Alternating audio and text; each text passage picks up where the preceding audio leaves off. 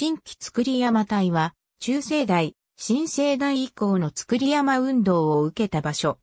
プレートテクトニクス理論以前からある古い用語であり、作り山という語が山体の形成を想起させることから、地形の区分のように扱われることもあるが、これは正しい説明ではない。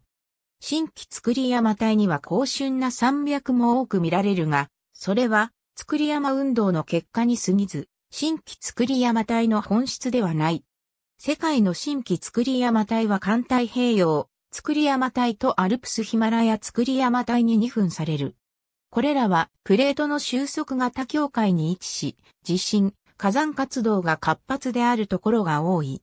新規作り山帯の山脈は新しい時代に形成されたため侵食を受け続けた期間が短く急峻な産地をなす。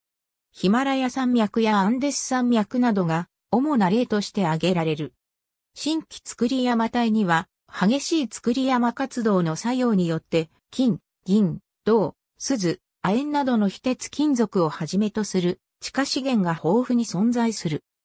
なお、かつては石油も終局、断層など石油の溜まりやすい地質構造を持った新規作り山帯やその周りの地層から産出されると考えられてきたが、敗者は新規作り山帯だけに存在する地質構造でないため、石油の分布を新規作り山帯と結びつけることはなくなった。実際に新規作り山帯に油田が分布するのはイランや中南米などの一部地域に限られる。ありがとうございます。